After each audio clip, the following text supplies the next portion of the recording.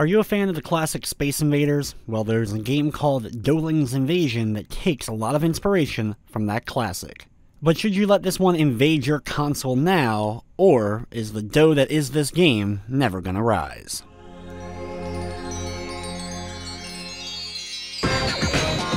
Doughlings Invasion is very much a Space Invaders inspired game. You move slowly at the bottom, firing a single shot at a time upwards at a slowly moving set of enemies coming slowly and slowly downwards, inch by inch, eventually reaching the bottom and taking you out if you're unable to take them out first.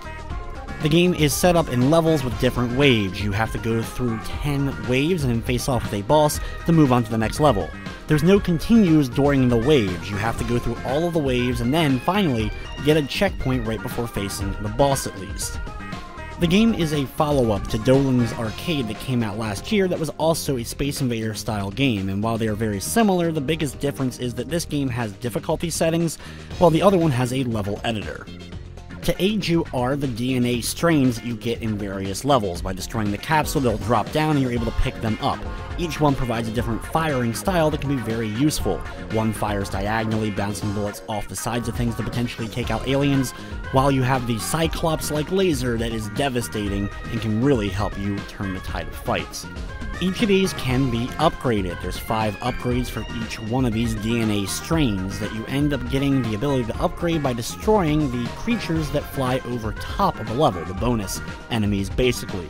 Taking them all out on the stage will give you this DNA that you're able to equate into upgrades, and you are able to upgrade each one of these, and the upgrades carry over. As long as you made it to a checkpoint, you'll be able to have those upgrades going in to the next level. Another way to help you out is the show-off maneuvers. Every time you defeat an enemy, they end up giving you a thumbs-up icon. Collecting enough of these will give you the ability to show off, and these special fires that you can do for a little bit can also really help you out. There's 12 different enemy typings that you'll have to deal with, as well as the bosses. The bosses were honestly the most enjoyable part of the game, some creativeness here, and being able to dodge them like a more traditional shooter was pretty fun. The other styles of enemies that you deal with were pretty average, with most of them just being kind of the same creature you're blasting multiple times. They just fire differently or crash down on you when you end up shooting them, or ones that end up upgrading the other enemies around it when you destroy it because of the lack of checkpoints, it's pretty difficult once you get into the later waves you run out of lives and having to start over can be frustrating. Also, the checkpoint system keeps track of your lives, so you only have one life at a checkpoint. That's all you're going to have when you continue, unless you, of course, want to start a new game fresh and begin anew. From the technical side of things, I ran no problem as far as crashing or other major glitching. Doughlings Invasion is available for the PlayStation 4 for $9.99. It does feature a Platinum Trophy. The game is also available on Nintendo Switch, Xbox One, and PC. Overall, if you enjoy Space Invaders, you're probably going to like Doughlings Invasion.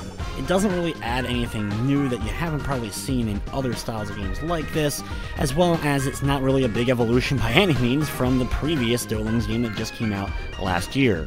If the game was about half the price that it is, it'd be easier to recommend, but as it sits right now, I'm going to be giving Doughlings Invasion a 6 out of 10.